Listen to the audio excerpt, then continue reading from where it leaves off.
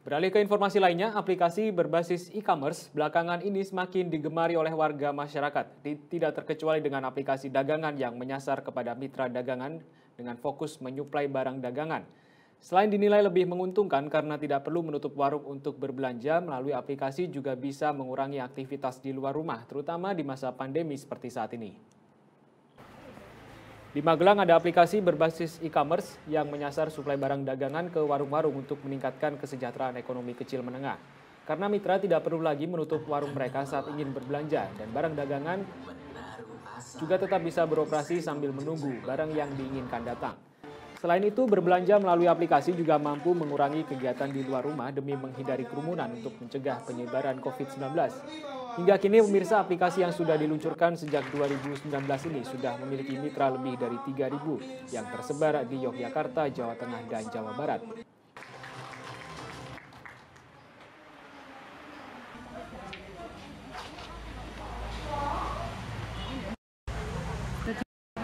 Mbak kalau mulai lagi nggak apa-apa? Oh, ini udah. Ya alhamdulillah ada. Soalnya kan nggak apa harga murah, barang dari uh, diantar sampai rumah. Jadi kan nggak perlu tutup warung, jadi bisa uh, penghasilannya lebih banyak. Jualan apa itu? Sembako. Sembako. Iya. Pertama kali tahu ini aplikasi ini dari mana bu? Dari Mas Upi ya, uh, sales. Oh gitu. Ya.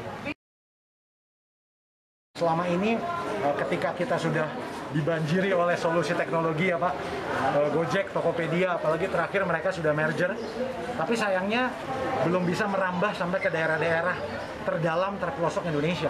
Padahal kita tahu 70% lebih dari populasi Indonesia, saudara-saudara kita tuh tinggalnya di daerah, bukan di kota-kota besar. Nah ini yang jadi pemikiran kami, bukan cuma saya sendiri tapi teman-teman yang ada di sini juga, bagaimana kita bisa membawa solusi teknologi ini dekat dengan Bapak Ibu, saudara-saudara yang ada di daerah.